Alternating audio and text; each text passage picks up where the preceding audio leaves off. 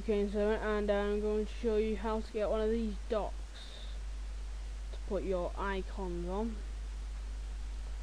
Uh, this is usually on Mac.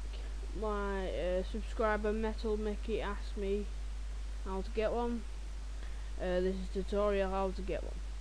Okay, so just go on your internet and type in on your internet uh, object dock no space.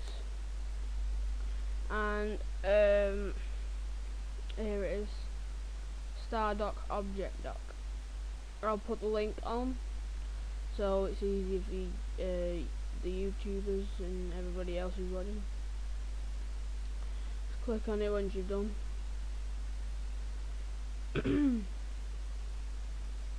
Here is Object Dock price 19 pound 95 but that's for the plus version? We don't want the plus version.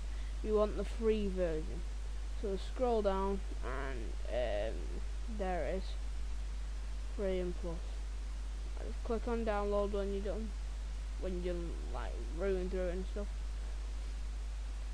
Uh, the link? Uh, this should pop up here. Object docker free software download reviews seeing it. Download.com um, if you just click on there um, it you will you should start downloading it but I'm not going to download it because I've already got it and there's no point.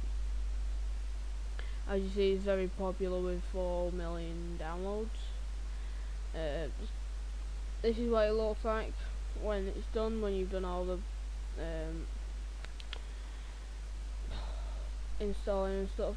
Um, all you have to do to like add stuff and uh, remove stuff is just like the Mac. Uh, just click and drag onto the uh, the board.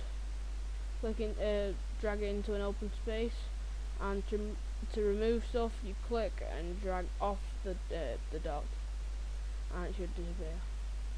Got two Firefoxes, so I'll get rid of that. Alright, thank you for watching Jack2K7 videos. Uh, please subscribe for more tutorials uh, entertainment videos and I'll be shortly doing some um, Sony Vegas and Adobe After Effects videos.